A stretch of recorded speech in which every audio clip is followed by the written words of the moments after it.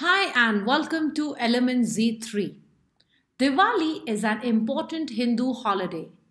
The celebration takes place at the end of October or the beginning of November. People around the world celebrate the new year. Diwali is sometimes called the festival of light because oil lamps are used to light homes. Day 1 is a time for cleaning and decorating.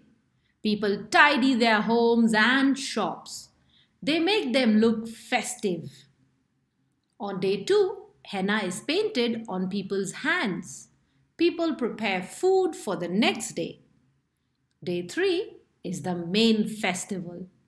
People wear their best attire. Lamps are lit and prayers are said to Lakshmi, the goddess of good fortune.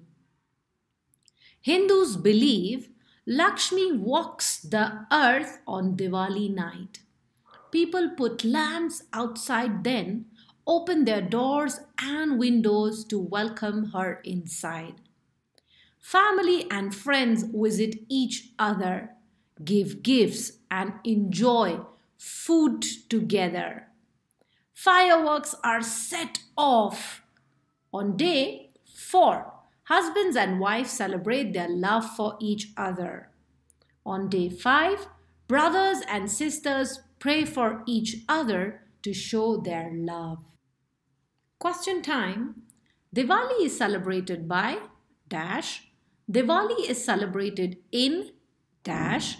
In order to prepare for Diwali, people usually dash. Let me leave you with answer. Till then, you know you what you have to do. That is, give a good thumbs up, subscribe, and stay tuned. Till then, take care.